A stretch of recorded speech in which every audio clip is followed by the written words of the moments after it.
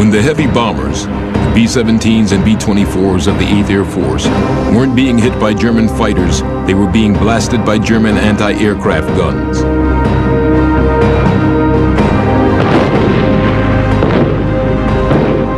Their shells would explode at a predetermined altitude and fill the sky with razor-sharp chunks of steel, sort of like a giant hand grenade. It was known to the airmen by the abbreviation of the German word Flieger Fliegerabwehrkanonen, flak. Flak would scare you to death. And you looked at it, and you know you couldn't deviate on your course.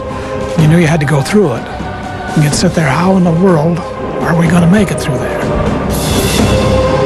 You just had to sit there and grin and bear it, you know, sort of. Uh, swallow your heart sometimes. You got wounded at that altitude, you were in a lot of trouble because shock would set in. You might have five hours before you could get real medical attention. There were occasions when they felt a, uh, an airman was so badly wounded he'd never make it back. They just bundled him into a parachute and tossed him out of the airplane, hoping the Germans would give him medical treatment before they put him in a POW camp.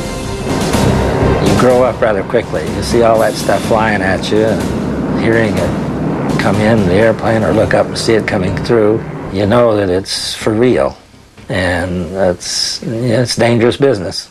I'm looking off to the side, and here's this B 17. It's got a fire on the left wing. Some guys bailed out of it. I could see him dropping out. It just rolled over and spun on down and disappeared into the ground somewhere. It was a terrible feeling to see these airplanes going, particularly when you might not see more than one or two parachutes come out, you know. That's the bad part about it. And it's a terrible thing for me to even talk about. But, you know, you'd watch another airplane go down and you might even say, you know, better thee than me. And that sort of got you through it. And even though that's a terrible thing, I know, but uh, that's the way it was. The terrible flak accounted for more losses than the German fighters.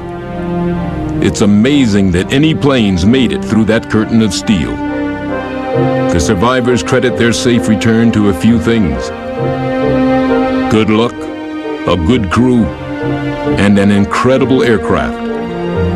The job of that lonely gunner in the ball turret would have been more dangerous, more of a suicide mission, had it not been for the legendary stamina of the B-17.